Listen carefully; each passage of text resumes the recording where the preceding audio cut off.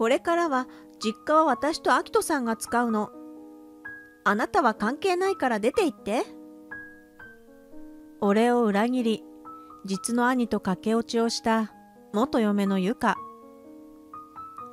二人が実家を出て行ってから10年後にかかってきた電話で、俺はゆかから聞いた信じられない言葉に絶句した。私はあなたの実の兄のアキトさんと再婚したんだから、私もあなたの家族よ。俺と離婚していながら、自分は変わらず俺の家族だと主張する元嫁に、俺は言った。いや、もうお前たちは赤の他人だ。赤の他人にこれ以上話すことはない。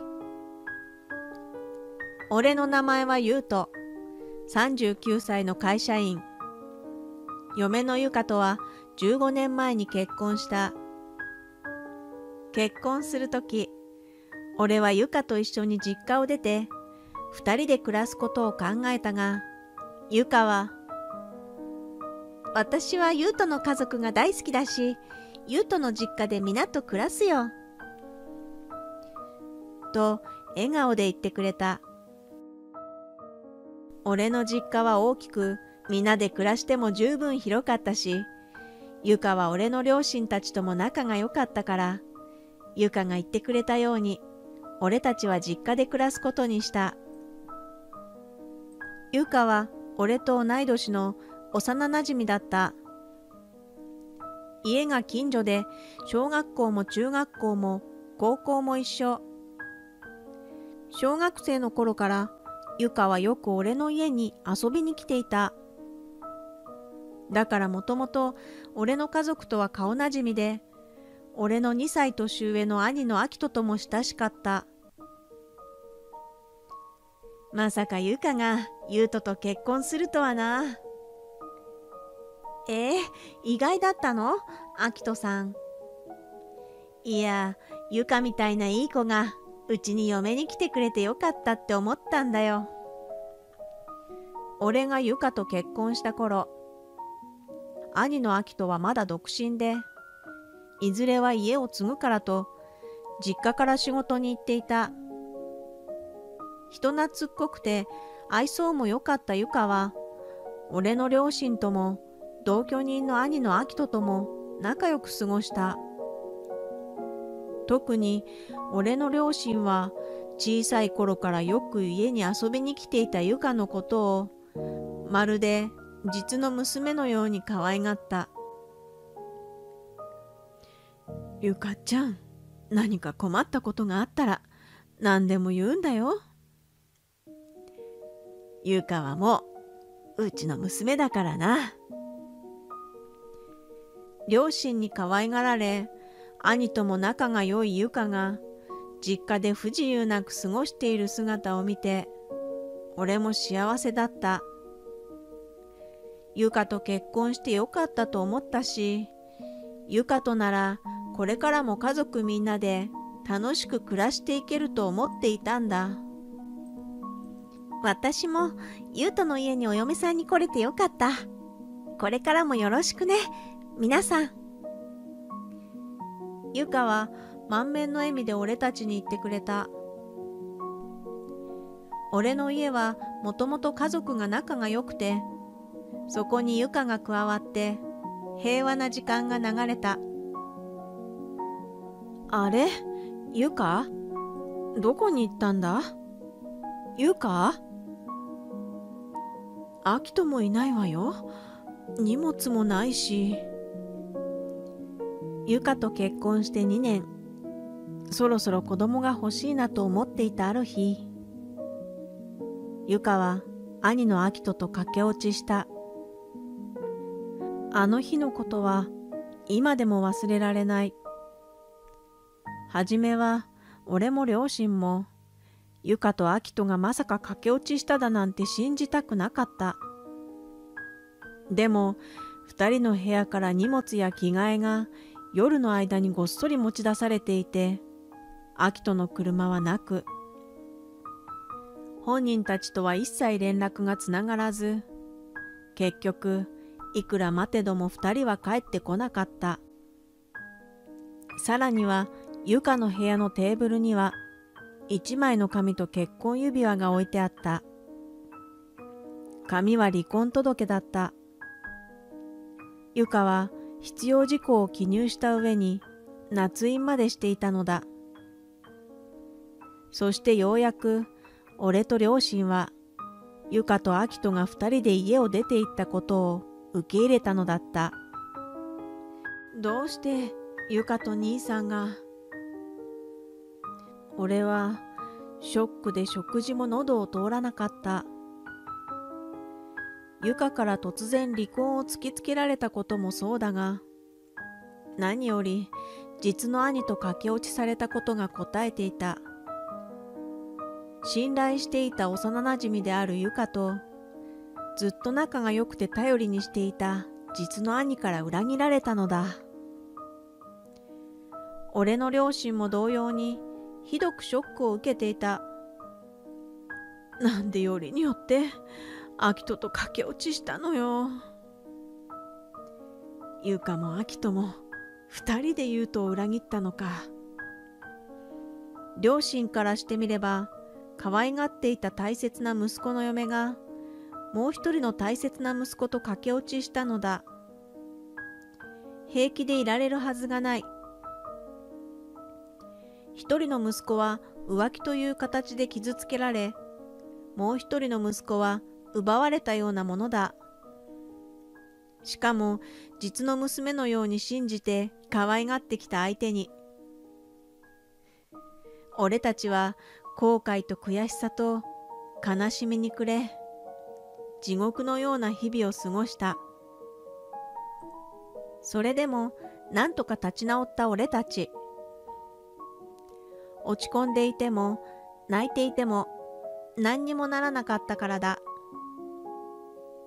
そしてゆかと兄が駆け落ちして10年が経った頃突然ゆかから実家に10年ぶりに電話が来た。はい、もしもし？あ、ゆと久しぶり。え、ゆか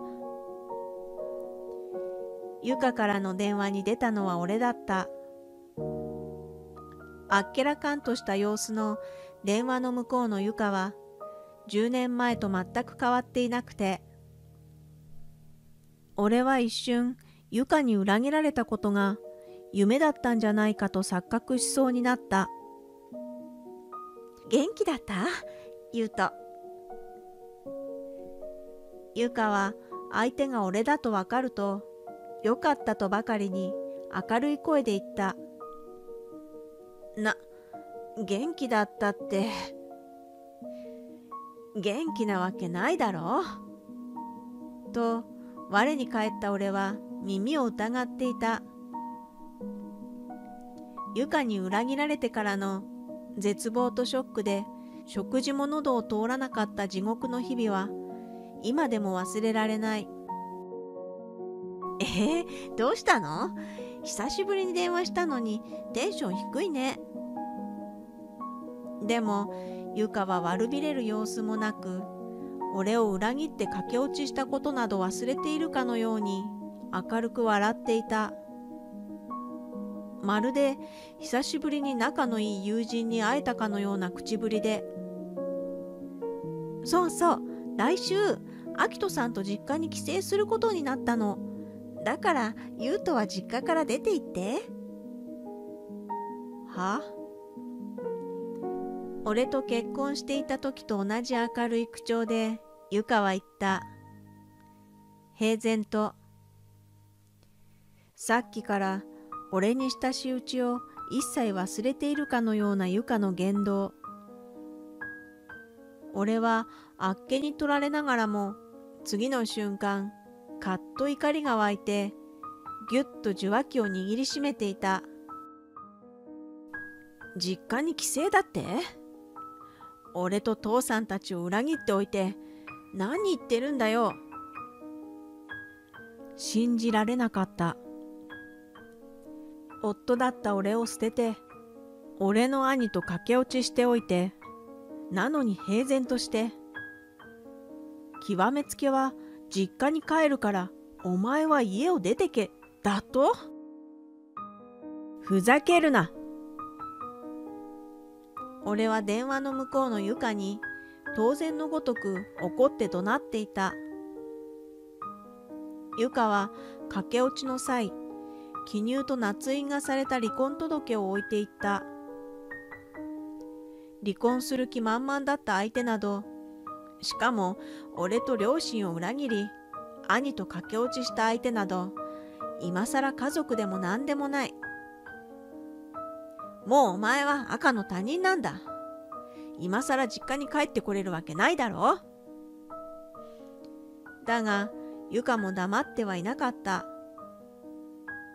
実の兄は他人じゃないでしょ？それに私は明人さんと再婚したんだから私もあなたの家族よ。威勢のいい声でさも当然のように俺に言ったゆか。確かに一般的には実の兄の嫁なら俺の家族ということになる。な、でも、ゆかはもともと俺の嫁だ。俺の嫁だったゆかが兄の嫁として家族になるなんて、想像しただけで気持ちが悪くなった。それに、ゆかの口から兄と再婚したと聞いて、俺はうすうす分かってはいたけれど、ぐさりとショックを受けていた。ゆかが俺よりも兄を選んだのだと再確認させられてしまったから。ショックに言葉を失った俺のことなど気にも留めず、ゆかは不満げに続けた。だからこれからは実家は私とアキトさんが使うの。あなたは関係ないから出て行って。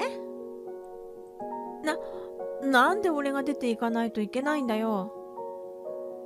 ゆうとは元夫でしょ？元夫と一緒に暮らすなんて嫌よ。勝手に俺と別れて、勝手に俺の兄と浮気しておいて、さらにはゆかは、俺の兄と再婚した自分は、俺の実家を使う権利があると主張してきた。あまりにも身勝手な主張だった。はわなわなとさっきからゆかに当然のように言われていた主張に俺が絶句していると後ろでずっとゆかと俺の会話を聞いていたのか。しびれを切らしたように誰かがゆかと電話を交わった。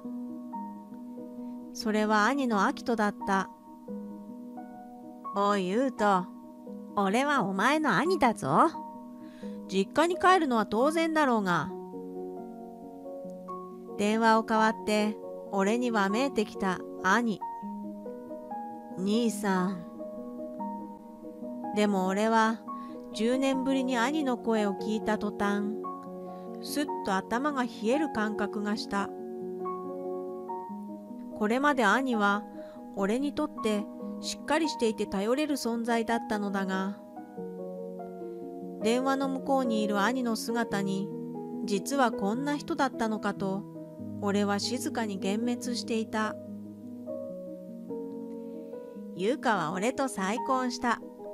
だから俺の実家はゆかの家だ。こんな簡単なこともわからないのか？兄もまた全く反省していなかった。俺と両親を裏切ったことへの詫びはなく、何事もなかったかのように、俺に実家を出るよう命じてきたのだ。それに俺はあの家を継ぐんだ。長男だからな。俺が実家に残ってお前が家を出るのは当然だろう。兄はこれまでずっと両親に可愛がられ大切に育てられてきたというのに俺だけでなく両親までも裏切り恩をあだで返すような仕打ちを平然としていた。だから俺はふつふつと湧き上がるような怒りを感じながら、再び兄に言った。もうお前たちは赤の他人だ。秋とももううちの人間じゃない。はあ？何を言ってるんだ、ゆうと。きっぱりと告げた俺の言葉をたわごとだと受け取ったのだろう。はっと嘲笑った兄に、俺は冷ややかに答えた。知らないのか？あんたはもううちの人間じゃないんだ、アキト。俺はあえて元兄をアキトと名前で呼んだ。もう俺の兄ではないから。ふざけるなよ。勝手なことを言いやがって。アキトはいまだに俺が嘘を言っていると思っていたのだろう。しかも俺から突き放すようにアキトと呼ばれて、弟のくせにと頭に来たに違いない。怒りに任せて俺に怒るアキトの声を聞きながら、俺はゆっくりと受話器を耳元から離した。そして代わりに俺の後ろに立っていた人物に受話器を渡したのだ。俺がユカたちと話していると分かった俺の両親に。アキト。へお、親父。電話の相手が俺ではなく父親だと分かると、途端にアキトはさっと青ざめた。さっきまでの威勢はどこへやら。上ずった声で小さな悲鳴を上げると、あからさまに動揺した。しどろもどろになったアキトに、父は険しい顔で言った。ユートから聞いただろう？俺たちはお前を感動した。か、感動？父は優しいが厳しい人だった。アキトも俺も人として間違ったことをしてしまった時は必ず父に厳しく叱られた。それも全部俺たちにまっとうに育ってほしいという父の願いだったのだが、どこで道を間違えたのか、はたまた床に道を踏み外させられてしまったのか。アキトは父からの最大級の仕置きをされてしまったのだ。そ、そんな、親父。アキト？父はわめくアキトを無視した。そして次に電話を代わったのは母だった。母は悲しそうな顔をして電話の向こうの元息子に言った。あなたはとんでもないことをしたのよ。でも、まだ分かっていないよね。か、母さん。すべてを失って自分が何をしたかよく思い知りなさい。ちょ、何を言ってるんだよ。さようなら。母はさっきから必死で言い訳をしようとしているアキトの言葉を遮り、静かにアキトに別れを告げた。アキトはその後も電話の向こうで何やら必死でわめいていたが、母はそのまま俺に受話器を渡した。父も母も神妙な顔をしていたが、二人ともアキトへの同情はなかった。10年という歳月は両親と俺を冷静にさせ、家族を裏切ったアキトを感動するという厳しい判断をさせたのだ。電話を代わった俺は放心状態になっていたアキトに冷たく言った。俺も両親もお前と縁を切ると決めたんだ、アキト。ユカとアキトが駆け落ちをしてから、俺も俺の両親も家族に裏切られたショックが、それはもう大きかった。それでもなんとか立ち直った俺たちは、その後家族間で話し合い、決めた。俺はユカと離婚し、両親も兄のアキトを感動して家族の縁を切ると。ま、まさか、俺を感動？俺からではなく、父と母から感動した事実を告げられたことで、本当に自分が家族から縁を切られたと気づいたのだろう。アキトは明らかに焦った様子だった。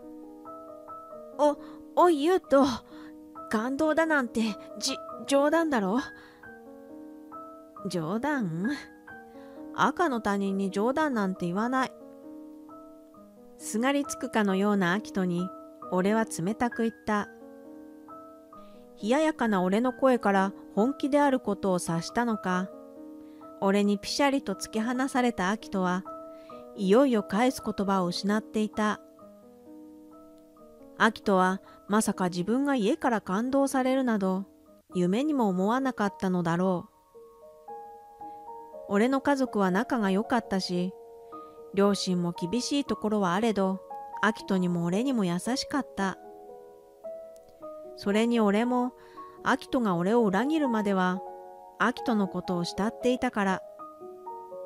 だが、俺と両親を裏切っておいて、お咎めなしだと思っていたアキトの無神経すぎる神経を、今の俺は疑っていた。だから俺は、これまで兄と暮らしていた日々で、残った情すら失せた状態で、アキトにはっきりと言っていた。他人が俺の実家に帰るなんておかしいだろ？来ないでくれ。俺の拒絶の言葉が聞こえたのか、放心したアキトに代わって、ユカが慌てる声がした。ユウと、実の家族に向かって、なんてひどい仕打ちなの？ユカは信じられないとばかりに憤慨した様子で、勢いよく俺を非難した。でもどこか必死な様子でわざとらしくプンプンと怒ったゆか。自分たちを完全に棚上げしてまるで俺が非常識だとばかりに俺に抗議の声を上げたのだった。実の兄を他人だなんてあんたがそんなひどい人間だなんて思わなかった。だが俺を追い詰めようと責め立てたゆかに対して俺は変わらず冷静に答えていた。俺のしたことがひどい仕打ちだと言うなら、お前たちが俺の家族にしたことは悪魔の所業だよ。あと、俺は5年前に再婚している。え？そのまま続けた俺の言葉に、俺を追い詰めようとしていたゆかは、はっとしたように言葉を止めていた。俺の再婚の話を聞いて怒るのを忘れたゆか。でも俺は淡々と続けた。なんで驚くんだ？俺が再婚しないとでも思ったのか？そ、それは。あ、俺の嫁と子供たちは実家に暮らしているから、俺の家族はもうお前じゃない。俺は5年前に再婚して嫁と一緒に実家で暮らしていた。念願だった可愛い2人の子供にも恵まれた。優しく信頼できる嫁と可愛い子供。ゆかとあきとの駆け落ちで暗い影を落としていた俺の実家だったが新しい嫁と可愛い子供たちのおかげで活気と明るさを取り戻した。新しい嫁は元嫁と兄に裏切られた俺の事情を知っていて、だからか俺の両親のことも気遣ってくれた。そんなとても優しい嫁と無邪気で可愛い子供たち。新しい家族の存在に俺の両親も癒されていた。俺の大切な家族が暮らす実家にもう元嫁と元兄の居場所はないのだ。ゆうとに新しい奥さんと子供が。俺が再婚したことが予想外だったのか、思いもよらなかったのか。言葉を失っている他人の床に、俺は冷たく言った。もしアキトと駆け落ちなんてしないで、俺と普通に離婚していたら、俺も俺の両親もまだお前たちの存在を認めていたかもしれない。でもお前たちは俺たち家族を裏切った。俺も俺の両親もこれまでずっと家族をとても大切にしていた。だからもしゆかが俺とただ離婚しただけだったら俺も両親も離婚したゆかのことを変わらず大事にしていただろう。でもゆかはそんな俺たちのことを自分から捨てたのだ。今さらまた家族になろうだなんて甘い考えは通用しない。俺たち一家はお前たちとは縁を切った。赤の他人にこれ以上話すことはない。そして俺はゆかからの電話を切った。それ以降、俺がゆかたちからの電話に出ることはなかった。実家の電話は、ゆかとあきとからの電話を着信拒否。携帯も2人の番号を着信拒否にした。一度、2人が実家まで押しかけてきたことがあったが、俺も両親も全くの他人として冷たく対応した。それでも2人がしつこく家に上がろうとしたから警察を呼んだ。え、警察ちょっと言うと私たち家族でしょいえ、あなたたちのことは知りません。他人です。俺も両親もためらいなく警察を呼んだことに2人は驚いたのだろう。警察に来られたらまずいと逃げるように去った後、もう実家に来ることはなかった。後に聞いた話だと、幼なじみだったゆかは、ずいぶん前から俺の実家の遺産を狙っていたらしい。俺の実家は昔から土地を多く所有しており、家も大きくて、近所では金持ちとして結構有名だった。古くからある地主のような扱いだ。そして遺産目当てで付き合った俺と結婚してすぐ、同居人の兄のアキトに目移りしたゆかは、俺を捨ててアキトと駆け落ち。ゆかは長男だったアキトが家を継ぐから、俺よりもアキトの妻になった方が良いと思ったらしい。そうしてまんまとアキトと結婚したゆかは、いずれ莫大な遺産が入るからと、この10年大した節約もせずに、借金まで作って、アキトとのんきに暮らしていた。遺産目当ての嫁にはいなくなってもらってむしろよかったな。そうね。今は優しくて素敵なお嫁さんが来てくれて、本当にありがたいわ。ああ、かわいい孫にも恵まれて、おかげさまで幸せだよ。俺は両親と新しい嫁とかわいい子供たちと広い実家で仲良く暮らしている。和気あいあいとして笑い声が絶えない日々だ。両親も今の状況に幸せそうに笑ってくれていて、これまでいろいろなことがあったが、俺も今はとても幸せだ。ゆかからしたらお人よしに見えていたらしい俺たちが、まさか自分たちと絶縁するだなんて思いもよらなかったのだろう。両親は遺言書に、絶縁したアキトには遺産は相続しないことを書いており、実家の遺産は俺と嫁、そして可愛い子供たちへと相続されていくことになっている。